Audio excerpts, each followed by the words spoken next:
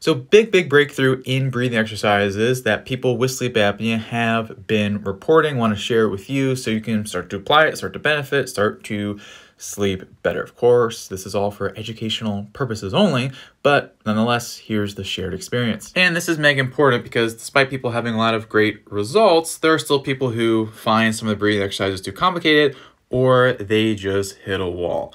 Nonetheless, what you got to focus in on here is improving CO2 tolerance because when you do that, it'll help reset your breathing thermostat, which helps you breathe better at night. So how you do it, and this is actually from free diving, is that you first want to find how long can you comfortably hold your breath after an exhale. Here's the steps on that. If you need a reminder, you can look at that later. And effectively, you want to start a little bit below this and then try to go above that. And all you do is you hold your breath after an exhale and then you go through like a rest period where you just breathe normally for like 20 seconds or so.